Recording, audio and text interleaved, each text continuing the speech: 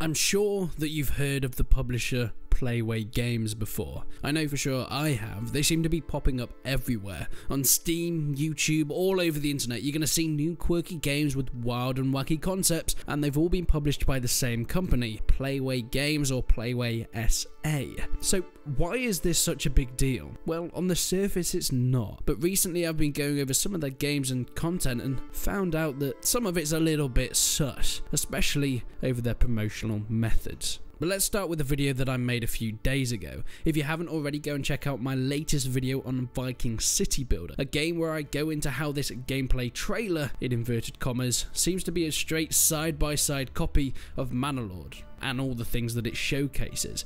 Now, this was of course published supposedly by Playway Games. I go into how detrimental and how much it could actually hurt a solo developer of a game like Manor Lords by releasing a trailer and calling it gameplay when really that's allegedly not what it seems to be. Playway seems to be releasing trailers everywhere and new titles like Viking City Builder, Builders of Egypt, Builders of China, Builders of Greece, yep. it kind of feels like a bit of a joke at this point, and it doesn't end there. We even see Steam pages for all these games. There's another one, Roman Empire Wars, which I think personally is the biggest offender since it's literally just screenshots, not even one of these pre-rendered gameplay trailers. I mean, the game looks so good, but with only screenshots and no actual gameplay, I 100% can't say myself, in all honesty, that this game even exists. Yet it's building up hype and getting people excited for it, even though they've actually not shown that it's a real project that's being worked on. And you're going to notice this a lot.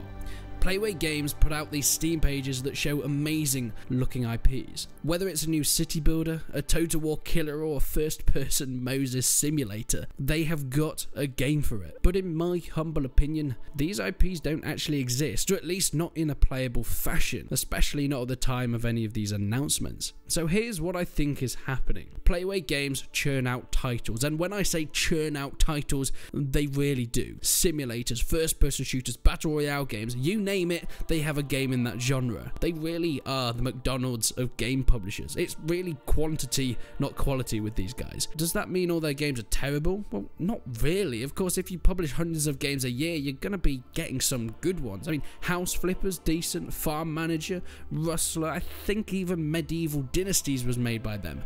They're all decent games in their own right and all published by Playway. But the games that actually do exist aren't the issue. It's the ones that don't and it's my belief that allegedly Playway Games mock up pre rendered trailers, ideas, and sketches of all the games that they may want to make in the future. They then release these trailers that you can see and test the reaction from fans. If it's bad, they ditch that game. I mean, there's no years or months of game development wasted there, it's just a little quick mini trailer that they've just whipped up in a few weeks. And if people like it, all steam ahead. Find someone to make the game and get going, knowing that when it's released, there's already a decent amount of people that have already stayed stated that they like the idea. The issue is, Steam doesn't allow this. They have started cracking down on developers making Steam pages to build up hype for games that don't actually have any working build yet. And many of these that Playway games are showing, or at least to the average viewer, do not prove to have anything other than a few sketches and ideas. And this isn't just conjecture either. The head of Playway has had multiple interviews alleging that this is how they do their market research.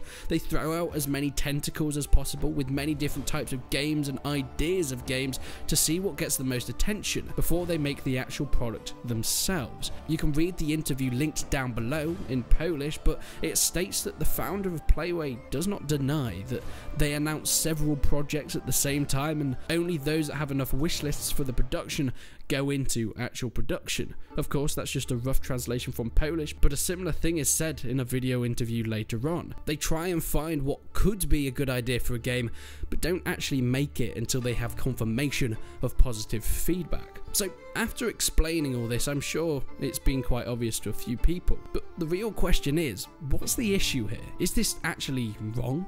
And on the surface, I would say, not really. Whether or not you think that they make quality games, making prototype trailers and screenshots to find out if your game will be widely accepted or not isn't anything new. I mean, mobile game ads have been doing this for years, and yes, it may make your brand look tacky, but it's just really another way of advertising. The issue is when it comes to these gameplay trailers that you see. If we take Viking City Builder for example, it tells us that this is pre-alpha gameplay, and I don't know about you, but to me, me, none of this looks like pre-alpha gameplay. So why call it that? On top of this, when screenshots of a game like Roman Empire Wars is paraded around Steam as this incredible looking Total War killing RTS, doesn't it seem a little bit disingenuous to not state that this is just an idea for a game? You know, people will assume that this game is 100% coming and 100% something is being worked on, yet from what we've been told in interviews, this allegedly isn't the case. Roman Empire Wars supposedly, from what we've heard, will only exist if enough people wishlist it in the first place.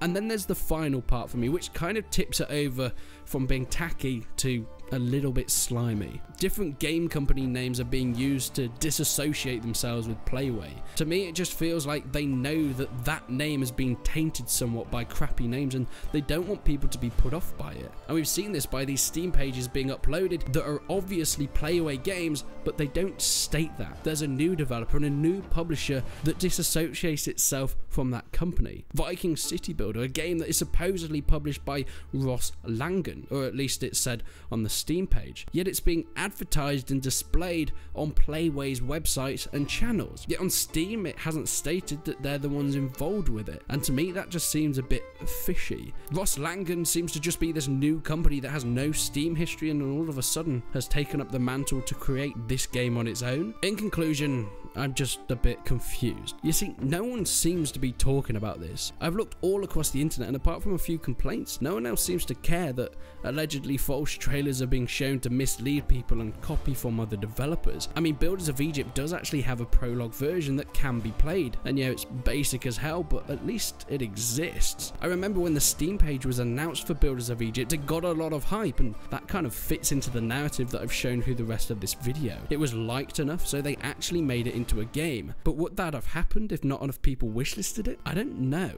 But Playway, this is directly to you. By all means, carry on with what you're doing. Advertise however you want to and make whatever games you want. But here's where the problem lies, and that's with falsehoods. Saying it's gameplay when it's clearly not, spamming Steam with concepts that most likely don't exist yet, and most importantly, stop copying other games to try and work off the hype to benefit yourself. It's so damaging to the gaming industry and it gives you a terrible name, especially a small developer, a solo developer like Manor Lords that has spent years of his time and effort and money into creating and handcrafting this brilliant game, and Playway come along and pre-render a trailer that is an almost exact rip of it, saying it's a solo developer themselves and calling it the first strategy with RTX compatibility. It just seems disingenuous and it just seems a bit scummy. But what do you guys think? Please leave your comments down below. I'd love to hear your opinions on this. Do you think it really matters in the long run? Because at the end of the day, I don't think anything they're doing is strictly illegal, but it just to me seems disingenuous and it can have some knock-on effects as we've seen from smaller developers. They could be negatively impacted by this. So leave your comments down below and be sure